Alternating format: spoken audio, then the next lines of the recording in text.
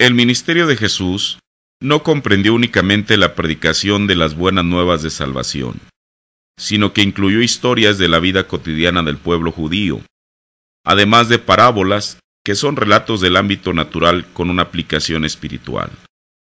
Asimismo, el reverendo William Branham, a lo largo de sus sermones, también narró muchas historias en las que habló de sus experiencias personales y otras que leyó o escuchó.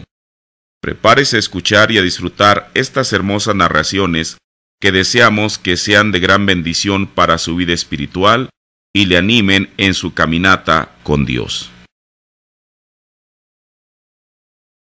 El gran incendio de la compañía aceitera FAO en una ocasión yo, este departamentito de bomberos de aquí, de Jeffersonville, el local de Fall, se incendió y allí estaba el departamento de bomberos de Jeffersonville y el capitán caminaba alrededor diciendo, echen un poco de agua aquí.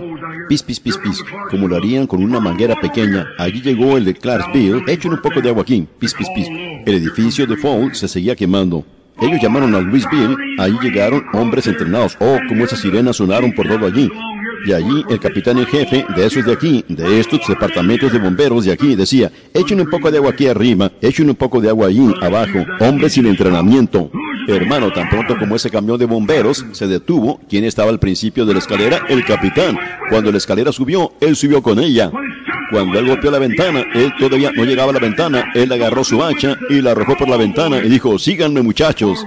Y el fuego se apagó en unos cuantos minutos. Un capitán. No es un capitán el que dice, échenle un poquito de agua aquí, traten una poquita aquí, sino síganme muchachos, amén. Él iba por delante, él nos mostró cómo se hace.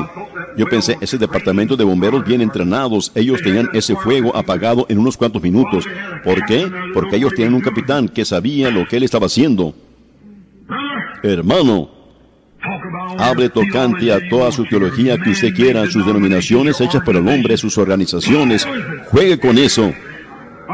Yo tengo un capitán en jefe que me dijo cómo hacerlo.